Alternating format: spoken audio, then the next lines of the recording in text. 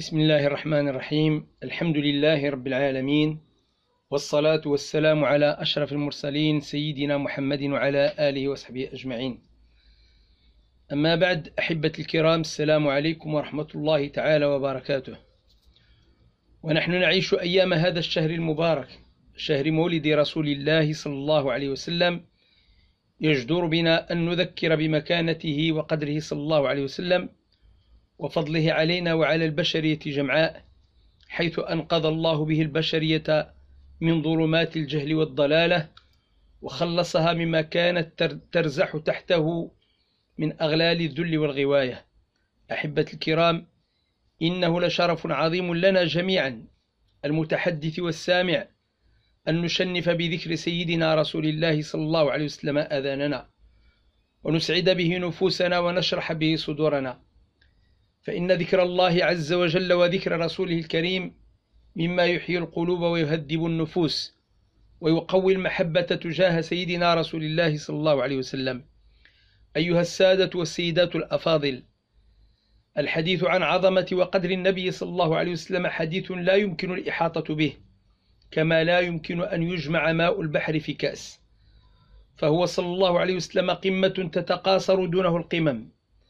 ومكانته تتوارى معها المكانة والمنزلة إلا أنه كما يقال ما لا يمكن كله لا يترك جله ومن هذا المنطلق نقتطف شذرات من بعض سماته الكمالية التي تحلى بها صلى الله عليه وسلم.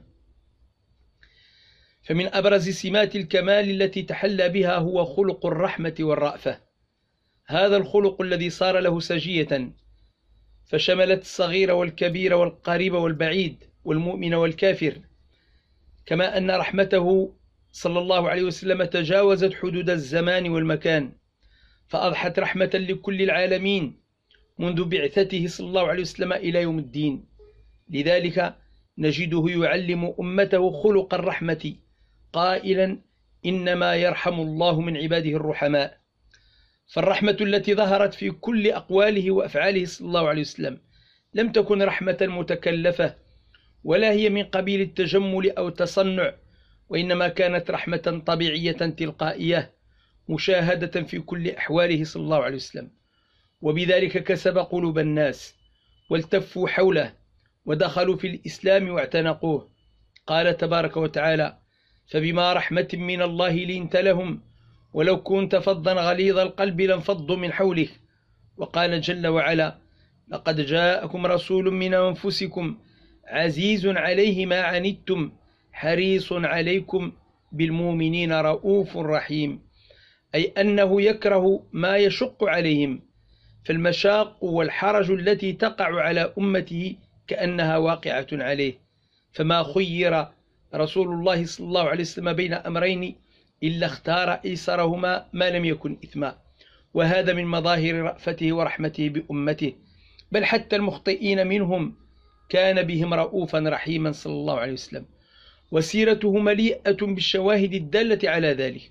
ومن بين أمثلة ذلك ما يرويه أبو هريرة رضي الله تعالى عنه فيقول بينما نحن جلوس عند النبي صلى الله عليه وسلم إذ جاءه رجل فقال يا رسول الله هلكت وأهلكت. قال ما لك؟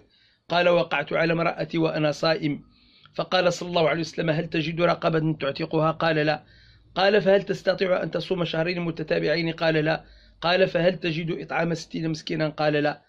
فمكث صلى الله عليه وسلم فبينما نحن يقول سيدنا أبو, أبو, بكر أبو هريرة رضي الله تعالى عنه فبينما نحن كذلك إذ أتي, أتي النبي صلى الله عليه وسلم بعرق فيه تمر فقال صلى الله عليه وسلم أين السائل؟ فقال أنا. فقال خذه وتصدق به. فقال الرجل أو على أفقر مني يا رسول الله فوالله ما بين لابتيها أهل بيت أفقر من أهل بيتي.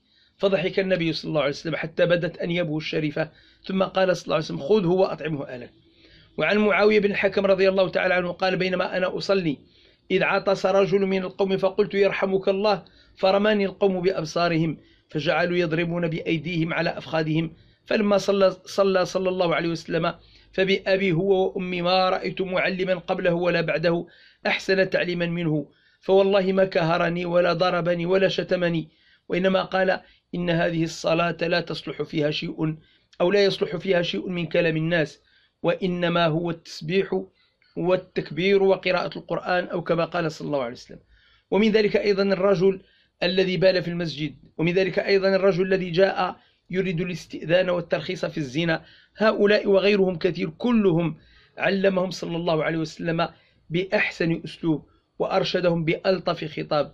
فما أرحمهم من معلم وما أرحمهم من مربي وما أعظمهم من داعي إلى الله تبارك وتعالى. وهذه إحدى صور الرحمة في الدعوة إلى الله. فعن سهل بن سعد الساعدي رضي الله تعالى عنه أنه سمع النبي صلى الله عليه وسلم يقول يوم خيبر لأعطين الراية رجلا يفتح الله على يديه. فقام الصحابة كل منهم يرجو أن يعطى فأعطاها صلى الله عليه وسلم لعلي بن أبي طالب رضي الله تعالى عنه. فقال علي نقاتلهم حتى يكونوا مثلنا؟ فقال عليه الصلاة والسلام على رسلك يا علي حتى تنزل بساحتهم ثم ادعوهم إلى الإسلام وأخبرهم بما يجب عليهم فوالله لأن يهدي الله بك رجلا واحدا خير لك من حمر النعم. الحديث رواه الإمام البخاري. هذه هي عين الرحمة واللطف والإحسان في الدعوة إلى الله تبارك وتعالى لامتلاك القلوب واحتضانها. بل هذه المعاملة اللينة التي تفيض رحمة وشفقة على الإنسان طالت حتى الكفار.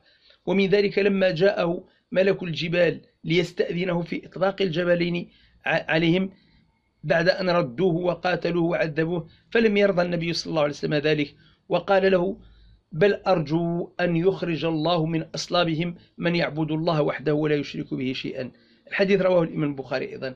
وروى مسلم حديث أبي هريرة رضي الله تعالى عنه أنه عليه الصلاة والسلام لما كسرت رباعيته وشج وجهه يوم أحد قال له الصحابة لو دعوت عليهم يا رسول الله فقال إني لم أبعث لعانا ولكني بعثت داعيا ورحمة فاللهم اغفر لقومي فإنهم لا يعلمون.